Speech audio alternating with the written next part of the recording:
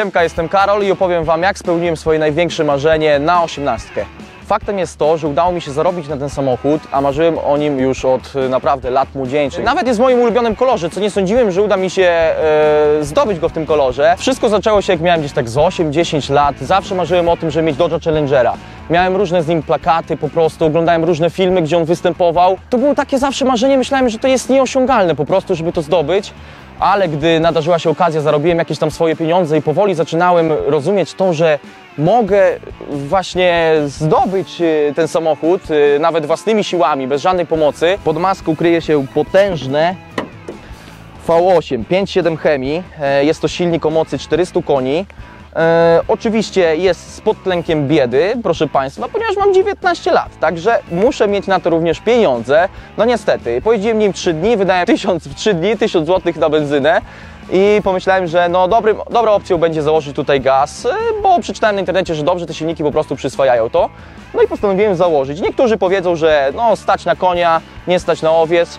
Może i tak, może i taka prawda, aczkolwiek wtedy to było moje główne auto, jeździłem nim na co dzień, więc musiało być również ekonomiczne.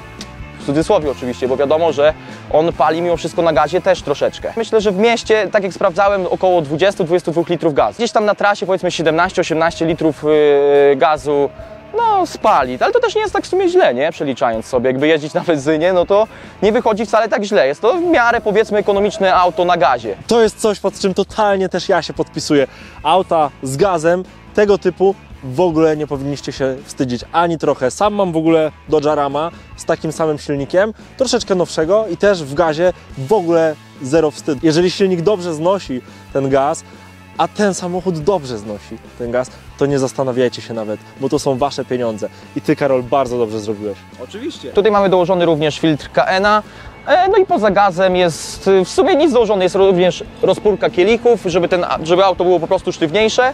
I myślę, że z takich dodatków to w sumie tyle. Jeżeli jesteście ciekawi, ile kosztował mój Dodge, dałem za niego 79 tysięcy, oczywiście wtedy bez gazu. Gaz kosztował chyba z 5,5 tysiąca i w sumie jakoś dużo w niego nie zainwestowałem od tamtego czasu. Planuję zmienić troszkę wydech, bo jest on, powiem Wam szczerze, trochę konfliktowy. Wiecie, jakie jest, jakie jest polskie prawo, niektórzy policjanci jak na to patrzą, także wydech trzeba koniecznie zmienić.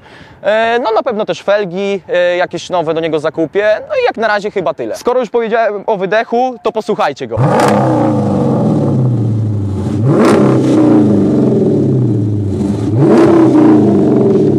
Każdym razem, jak dodaję gazu, no to morda sama się cieszy. Zresztą, no po prostu, no, jak kochacie amerykańskie samochody, to sami wiecie, co oni po prostu, co one mają w sobie. Dodge Challenger zawsze podobał mi się z wyglądu. On ma taką właśnie charakterystyczną bryłę. To jest taki masywny, agresywny samochód. Zawsze mi się podobał. E, No i ze względu też na to, że strasznie uwielbiam amery- amerykańskie samochody, mają potężny dźwięk, no to jest nie do podrobienia. Europejskie samochody tego nie mają. V8 amerykańskie po prostu mają w sobie to coś. No i tutaj może nie ma jakichś luksusów, E, Jest to samochód, e, nie ma jakichś tam, wiecie, no i nawet nie ma grzanych foteli, ale ten dźwięk po prostu nadrabia wszystko. Ale zacznijmy od początku. Cała historia, słuchajcie, jest na tyle nietypowa, bo kupiłem mojego Dodge'a w wieku jeszcze 17 lat. Brakowało mi wtedy około 3 miesiące do 18. Nie miałem wtedy jeszcze prawa jazdy. Zobaczyłem na e, ogłoszeniu w internecie właśnie tego Dodge'a. Od razu mi się spodobał. Mówię, no trzeba pojechać po prostu go zobaczyć na żywo, ale miałem w głowie to, że chciałbym go oczywiście kupić. No niestety nie miałem prawa jazdy jeszcze.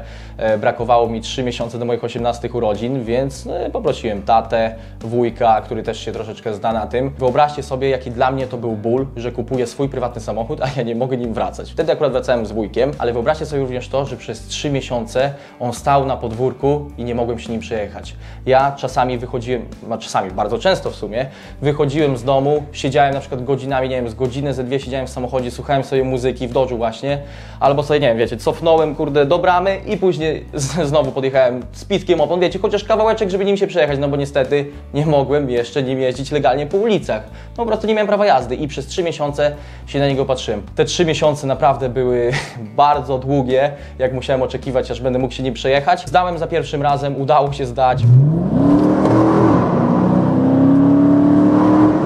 Kurde, no. Ten dźwięk tak się rozchodzi, słuchajcie, to jest coś pięknego.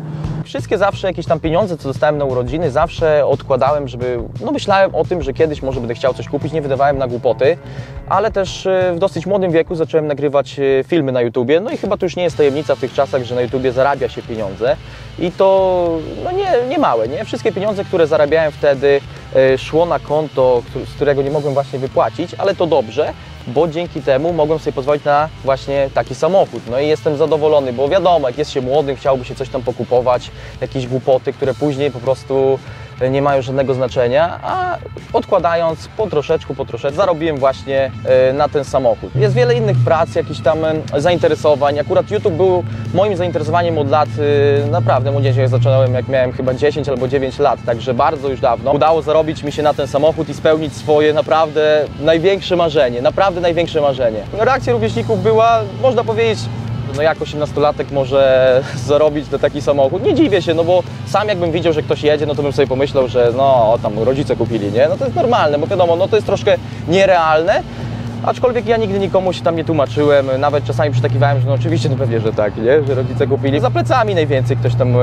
gadał, ale ja się takimi rzeczami nie przejmuję. E, nie można właśnie się przejmować tym, co ktoś mówi, bo wtedy stoimy w miejscu, albo nawet i się cofamy. No, trzeba iść do przodu i nie patrzeć na to, co ktoś gada. Programu High Five uwielbiają po prostu takie akcje, więc dla Was postaram się spalić troszeczkę gumy, żeby pokazać Wam, jak ten samochód chodzi. Słuchajcie, przypaliłbym trochę więcej, ale jest już y, no, mało opon z tyłu, ja muszę jeszcze do domu wrócić. Jest oprzyta kierownica, e, ma też obszyte fotele, dodane a, radio Android e, wraz z kamerą, to akurat bardzo dużo pomaga. Gałka tutaj też również jest zmieniona, jak widzicie jest z Mopara, nie wiem czy ona jest oryginalna, szczerze powiem, że nie sprawdzałem. Też dodane tutaj są e, z Dodge'a takie no i w sumie chyba to tyle. No tutaj też obszyty ten podłokietnik jest. Tak to się prezentuje.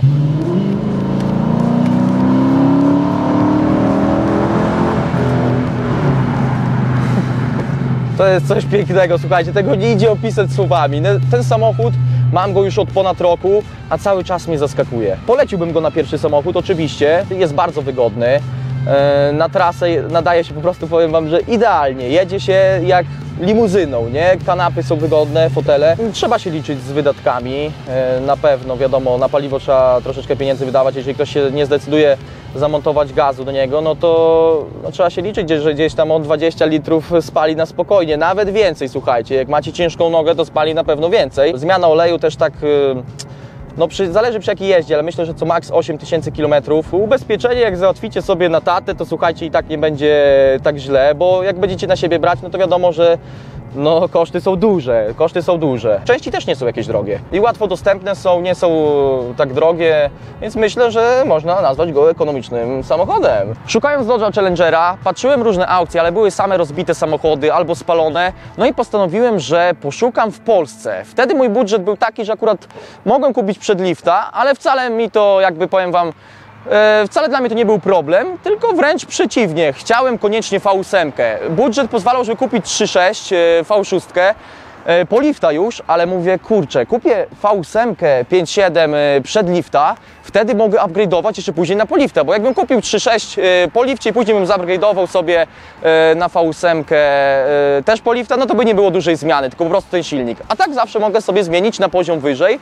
No i myślę, że to była dobra decyzja. Naprawdę nie żałuję tej decyzji. Kupiłem Dodge'a w Polsce. Jeśli przyjrzycie się bardziej, zobaczycie, że te czarne pasy to tak naprawdę taka panterka. Powiem tak, kupiłem e, już auto właśnie z tymi pasami i mi się podobają, także nie, nie zmieniałem tego, bo moim zdaniem wygląda to ciekawie, tak troszkę niespotykane. W najbliższej przyszłości nie planuję zmieniać mojego Dodge'a Challengera, bo strasznie mi się podoba i słuchajcie, mam go już ponad rok i jeszcze mi się nie znudził, także nie planuję go zmieniać, sprawia mi naprawdę wiele frajdy, wiele radości. E, No to jest coś takiego, niby mówią, że samochody tam, kurde, co to jest samochód, ale powiem wam, że naprawdę dużo radości sprawił mi, spełniłem przede wszystkim swoje największe marzenie, więc e, codziennie, kiedy wychodzę i spojrzę na niego po prostu, no od razu humor mi się poprawia. Także nie planuję go zmieniać, myślę, że potrzymam go jeszcze jakiś czas, a być może, jeżeli kiedyś zarobię troszeczkę więcej pieniędzy, to sprzedam jego, ale również kupię Challengera, tylko w wersji poliftowej. Przyspieszenie jest bardzo fajne, daje mi dużo frajdy, aż wciska fotel. Jak na pierwsze auto, to myślę, że każdy byłby zadowolony. Myślę, że tak. Ze świateł jak się nie ustawi jakieś Lambo, to dacie radę, nie? No wiadomo, czasami są takie samochody, że nawet nie widać i możecie przegrać, no bo to jednak jest 5.7, to ma 400 koni, ale to też swoje waży. Nie sprawdzałem jeszcze, ile to ma do setki, ale to można sprawdzić gdzieś tam w internecie. No naprawdę fajnie się zbiera, fajnie się zbiera, no nigdy szybszym autem nie jeździłem. W zasadzie, słuchajcie, to już by było na tyle, jeżeli chodzi o mojego Dodge'a. Nie wiem, jak wypadłem, mam nadzieję, że w miarę w porządku, także zostawcie łapkę w górę i subskrypcję na kanale. Ja się z Wami żegnam, dziękuję Wam jeszcze raz za oglądanie. Nic dodać, nic ująć. Bardzo dziękuję Ci za nagranie. Piąteczka. Do następnego. Dziękuję również, do następnego. Subskrybujcie program.